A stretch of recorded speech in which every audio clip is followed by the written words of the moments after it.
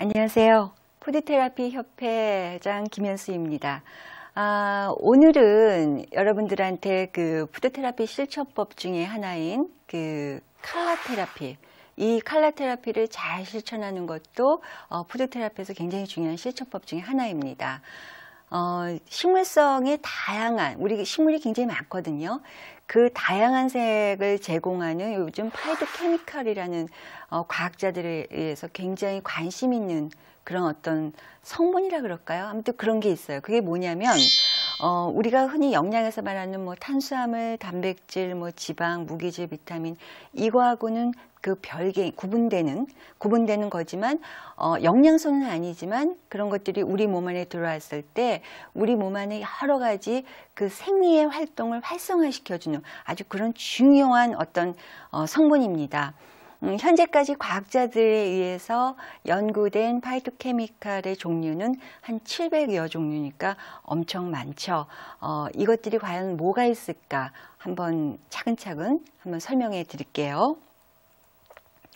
어, 먼저 어, 요즘 이제 그 저도 이렇게 마트에 나가 보면은요, 음, 많은 분들이 어, 제가 굳이 이렇게 여러분들에게 조목조목 말씀은 안 드려도 아, 푸드 테라피가 그래도 그 은근히 많은 분들한테 좀 뭔지는 모르지만 어, 이분들이 이렇게 행하고 있구나라는 걸 알고 있, 그 느껴지는 게 옛날에는 어, 그 채소 코너에 가면은요. 전부 녹색 중심이었어요. 그러니까 우리나라에 특히 그 야채들이 뭐 미나리, 뭐 부추, 시금치 그 전부 이렇게 녹색들, 어, 청록색, 뭐 고추, 고추도 보면은 그냥 그 뭐라 그럴까요? 그냥 빨간 고추가 조금 있긴 하지만 대부분은 풋고추, 파란 고추 이용하고 있죠. 어, 그랬는데 요즘에 이렇게 나가 보면은요, 굉장히 컬러풀해졌어요. 진짜. 어, 옛날에는 피망 그러면은 그린 색깔, 초록 색깔밖에 없었단 말이에요. 근데 요즘은 마치 파프리카하고 헷갈릴 정도로 막 그 빨간 피망도 있고, 뭐 굉장히 또 파프리카는 뭐 빨주노쪽 하던 뭐 정말 무지개색 같이 있습니다. 여러분들 그렇죠? 고구마도 보세요. 옛날에 그러면 고구마 그냥 하나였죠.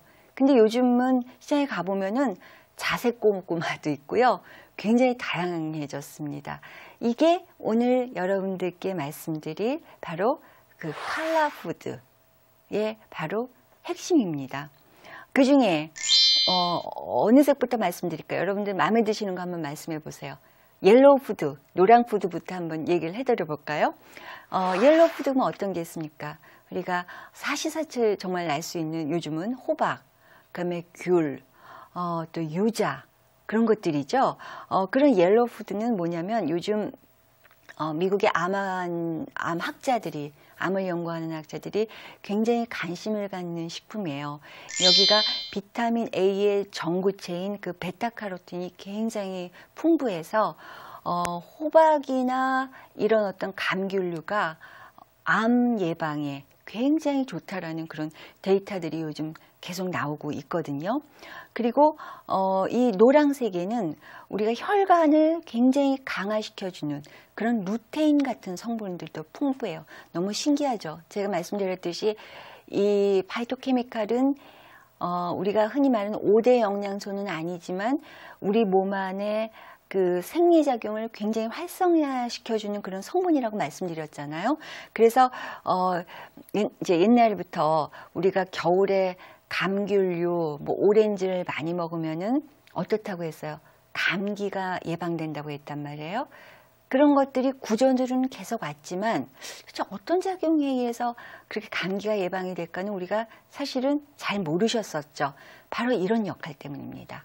그 노란색, 그 노란색에 들어있는 베타카로틴이라는 성분이 우리 몸 안에 면역력을 굉장히 증진시켜 주니까 당연히 감기 예방이 되죠. 여러분들 감기 어때요? 몸이 피곤하고 면역력이 떨어지면 오는 질환이 바로 감기란 말이에요. 그러면 우리가 암 같은 질환들은 뭐